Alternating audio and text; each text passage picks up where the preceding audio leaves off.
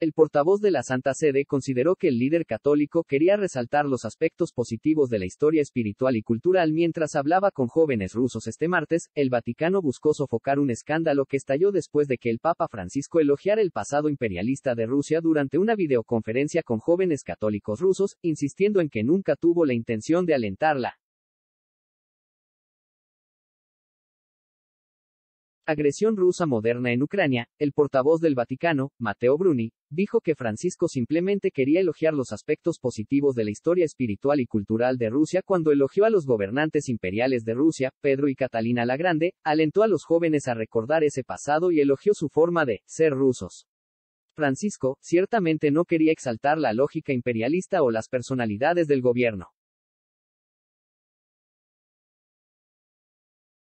Que fueron citadas para indicar ciertos periodos históricos de referencia, dijo Bruni en un comunicado, el Vaticano, y antes que él, la Embajada de la Santa Sede en Ucrania, se pronunciaron después de que el líder greco-católico de Ucrania, su beatitud es Viatoslav Shevchuk, se quejara amargamente de los comentarios de Francisco.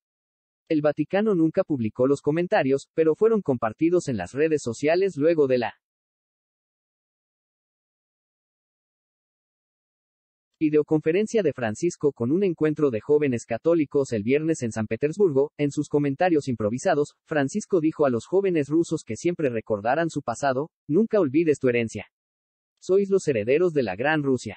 La Gran Rusia de los Santos, de los Reyes, de la Gran Rusia de Pedro el Grande, de Catalina II, esa Gran Rusia imperial, cultivada, con tanta cultura y humanidad, dijo Francisco. Según el videoclip, nunca olvides esta herencia. Sois los herederos de la Gran Madre Rusia, adelante. Y gracias. Gracias por tu forma de ser, por tu forma de ser ruso, Shevchuk, que con frecuencia se ha quejado de las intervenciones de Francisco sobre Rusia, emitió una respuesta contundente. Dijo que la referencia a los líderes imperiales de Rusia, se refiere al peor ejemplo del imperialismo ruso y del nacionalismo extremo.